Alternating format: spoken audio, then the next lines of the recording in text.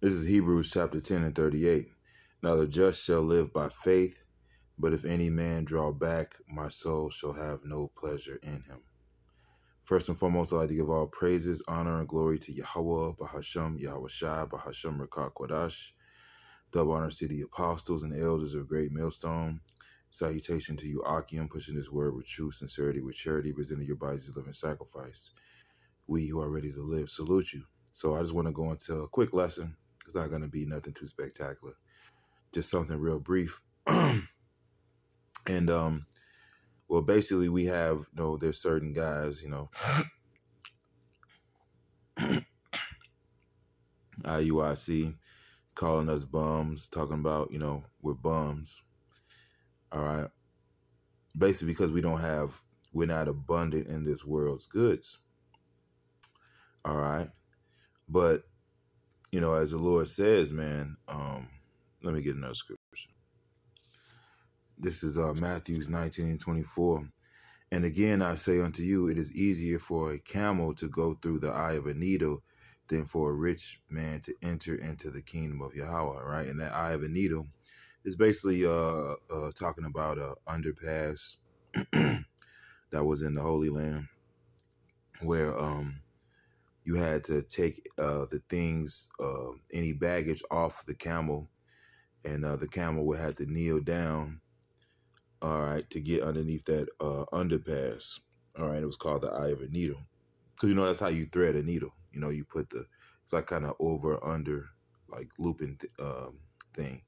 But it uh, symbolizes uh, humbling yourself and um, basically sacrificing everything.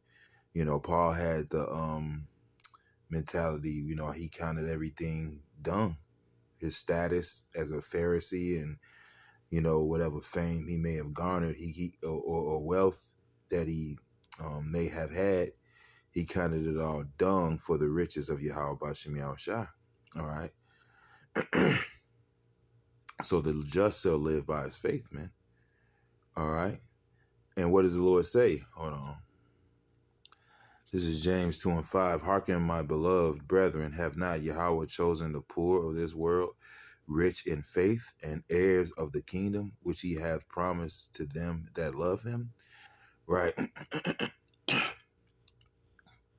okay.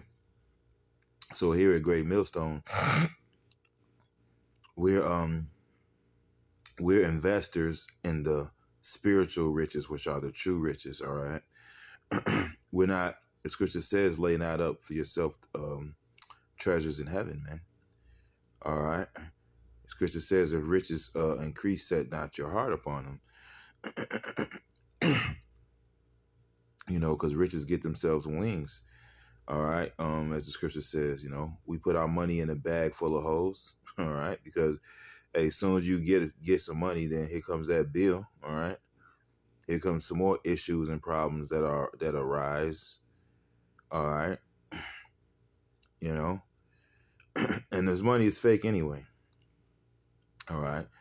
You know, scriptures, uh, the Lord talks about a false balance, man, and a just, a just weight is His delight, man. Uh, the American dollar is a false balance. It's, it's pretty much fraud. So if you're, if you count these things to be riches, or as the scripture says, you've sold yourself for naught, man. But we shall be redeemed without money. Okay. So it's not gonna be riches that redeem us, and this this place is not even real riches, man. All right. Matter of fact, let me get another scripture. right. And yeah, man. you know, so the riches of this world, man, they're not riches at all, man. You know, Yahweh Bashim Shah has showed us uh, what's really valuable. All right. You know, because Scripture says riches profit not in the day of wrath, and we're entering into Jacob's trouble, man. All right. Scriptures also say the love of money is the root of all evil, man. While some coveteth after, uh, have erred from the faith, man. All right. Says they have pierced themselves through with many sorrows, and pretty soon you're physically, literally gonna fear pierce yourself, man, with that uh C hip, man, that MOTB, man. All right. Okay, the mark of the beast, man. All right. Because we got the true breakdown on that, man and that's coming down the pike, man. All right, so you know, and, and what the scripture says, uh, uh, you know, talks about these men that boast in their riches. The Lord said, "What? No, it's not that they are poor, blind, and naked." Okay. All right, because you're not, you know. Um, matter of fact, I um, I'll come back to this scripture, man. Hold on. This is Luke 12 and 16. And he spake a parable unto them, saying, The ground of a certain rich man brought forth plentifully. And he thought himself, he thought within himself, saying, What shall I do, because I have no room where to bestow my fruits? And he said, This will I do. I will pull down my barns and build greater, and there will I bestow all my fruits and goods, right? because that's the mentality of um, these kind of men, man. All right, they're, they're complacent. All right, okay. They don't believe that, that Yahweh Shemi Shah would do good or do evil, man. All right, so it's fully setting them to to to do wickedly, man. They don't believe fat meat is fat meat is greasy, so to speak, man. You know, I remember my OG saying that. That's something old old old black women say, man. You know, they don't believe fat meat is greasy, man. But Yahweh Shemiah Shah is gonna catch these, he's gonna punish the men that are settled on their leads, man. Because these men are complacent. They don't believe Yahweh Shemiah Shah is gonna do anything. They don't believe in the words of Yahweh Shemiah Shah that are spoken through the prophets and the warning that are, are given thereby. Okay. And I will say to my soul, Soul, thou hast much goods laid up for many years. Take thine ease, eat, drink, and be merry. But Yahweh said unto him, Thou fool, this night thy soul shall be required of thee. Then who shall those things be which thou hast provided? Right. And then and you know you got these community Israelite, these family Israelites, you know, and you know, we're gonna start a community here you know, I remember ISBK saying we got to build a kingdom within this kingdom. You know, these these are the people where it talks about in the book of Ezekiel. Uh, they have the mindset that the vision is afar off, man. All right, this city is the uh the cauldron. We with the flesh, which you know they're basically saying that we're just gonna chill here, man. We're not gonna see Jacob's trouble, man. You know, we're not gonna see the sword and famine, man. All right. See, they have the mentality of going back to Egypt. This is the same generation, man. All right, they they want to go back to Egypt, man. And the scripture says we, that a, the king should not cause the people to go to return to Egypt, man. All right. So that entire mindset has to be rebuked because it's the mindset of the devil, man. What the scripture says is uh, inward thought is that his houses uh, shall continue forever, man. See, you people haven't been given a, a gift of faith, man. All right. And speaking of faith, faith is the true wealth. Faith is the true riches, man. All right. In fact, let me grab that scripture since I was going to get it anyway. Um, yeah, this is it right here. All right. This is uh Second Ezra six and five.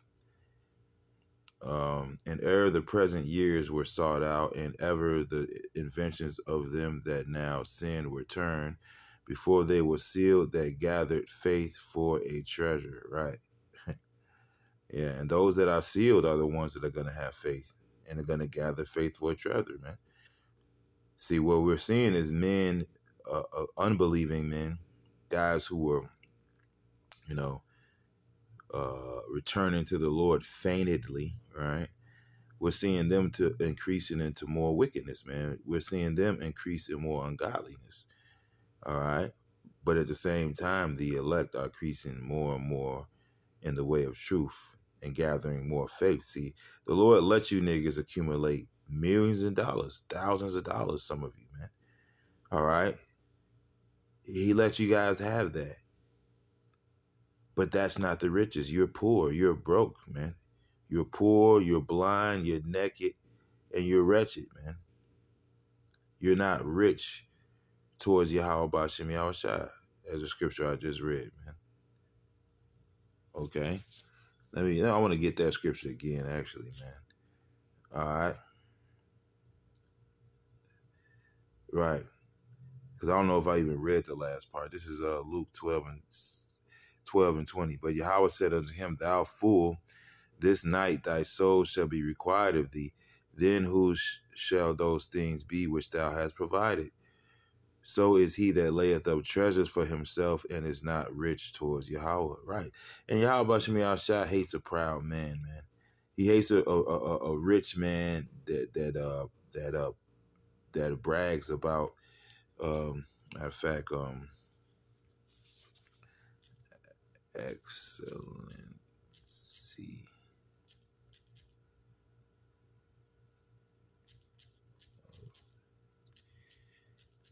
Uh, bear with me.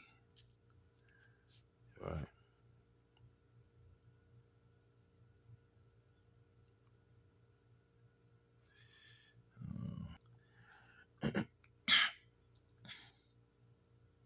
This is uh Amos 6 and 8. Yahweh power have sworn by himself, saying, Yahweh power of hosts, I abhor the excellency of Jacob, and I and hate his palaces. Therefore will I deliver up the city with all that is therein. Right, and that happened in the past. It's going to happen again, man. All right, and you people, uh, uh, scriptures talk about a, a, one particular city, uh, Capernaum. Yeah, the Lord talked about how it shall be brought down to hell, man. It was, and that was obviously a lofty city. Uh, you probably had a lot of rich jakes in that in that city, man. Very well off, affluent niggas, man. You know, boule type niggas you see today. You know, you, you sell out niggas, man. You know that have taken that bag, man.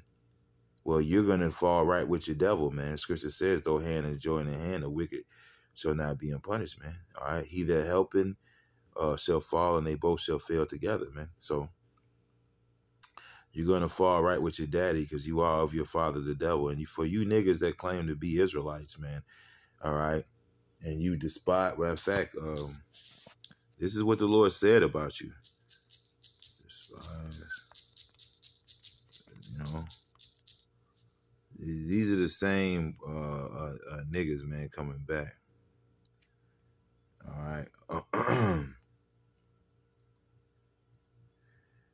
Right. Um, this is James 2 and 1. My brethren, have not the faith of our Lord Yahweh Shai HaMashiach, the Lord of glory, with respect of persons.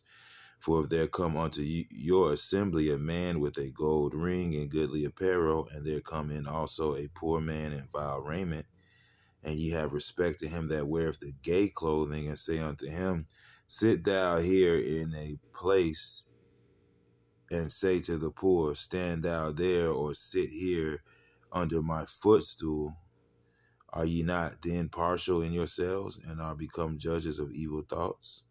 Hearken my and, and the Lord's letting you know that you are that that that is an evil thought. That is an evil way to think. And that shows you that these men are wicked men. As the scripture says, among my people are found wicked men. All right. They lay a snare, they catch men.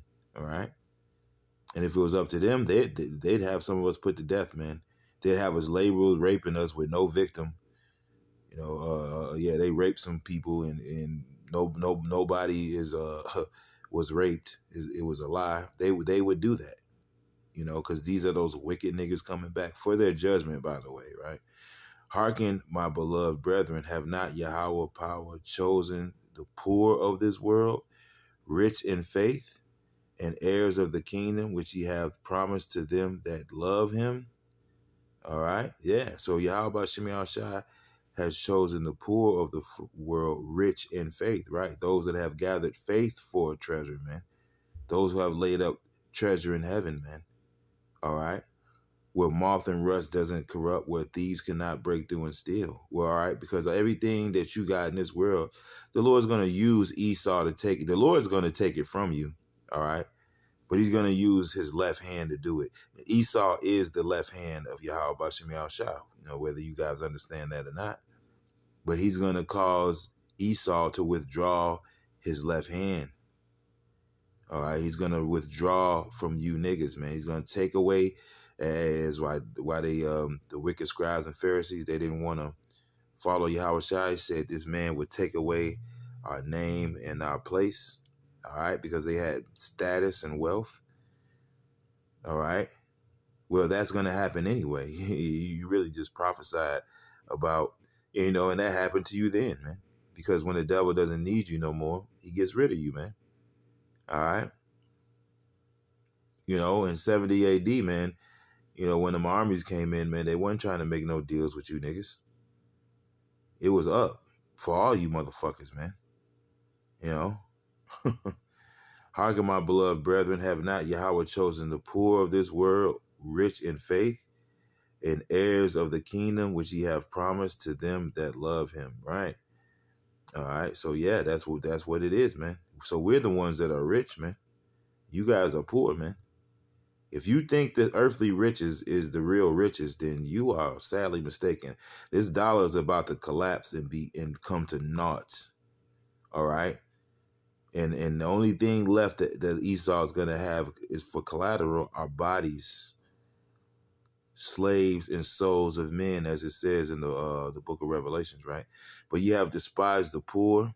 Do not rich men oppress you and draw you before the judgment seats, right? Wasn't it rich men that brought us here in slavery? Didn't the small hats fund the transatlantic slave trade? All right. Since when has a, a rich man equaled righteousness, man? Okay. Even the richest king to ever live eventually went off, man. All right. You know? Yeah, when Yahweh Shai comes to reign, that's when you know, your riches are yours. Your thrones is you don't not you know like um in the book of Ecclesiastes. All right, so, uh, Solomon was lamenting. You know, what if I have to pass my kingdom down to somebody that's going to be a fool? You know, which actually happened. You know, yeah, that's not going to happen in um in the kingdom, man. Everything you have, every riches is going to be safely safe. No Edomite can take it from you, man. Right now, the Esau could come in and take take you and anything that pertains to you, man. Because he's the guy with the gun and he makes the rules right now. This is his kingdom, man. All right. Do not they blaspheme that worthy name by which ye are called? And and you guys have that same mindset, man. You know, saying you can call Yahweh Bashem Yahshua, yo pay yo play yogurt, man. It don't matter what you call Yahweh Bashem Yahshua, man. The scripture says there's no name under heaven whereby we must be saved, man. All right. Scriptures talk about how you take away the key key of um, wisdom, man. You know, or you shut up the way to the kingdom, man. And that is one of the that is the key, man. The name of Yahweh. Also walking in it, by the way. Because you got some people who have the name and they're not when it was it says in works they deny me, right? Okay. All right. But yeah, man. So yeah, man. you know, and Yahweh is not a respective person. He doesn't give a fuck about your FRNs, man. All right. Your money perish with you, man. Okay. All right. Because you believe game is godliness. You think the Holy Spirit can be bought with with a dollar bill, man. All right. But yeah, it's a little lesson I want to do. You niggas are broke and we're rich, man. Lord willing, we continue to the end. We're about to cash out, Akia. All right, because we're making a constant investment in something that doesn't depreciate, and that's the truth, man. All right, the words of Yahweh Bashim is only going to gain value, man, especially as this world decays, and it's on a rapid decline out, man. So, yeah, so that's pretty much what I got. Um, you know, all praises, honor, glory to Yahweh, Bahasham, Yahweh Shai, Bahasham, double honor to the apostles and the elders, the great millstone. Salutation to you, Akim, pushing this word with true sincerity, with charity, presenting yourself as a living sacrifice. Shalom, Kwame Yasharal.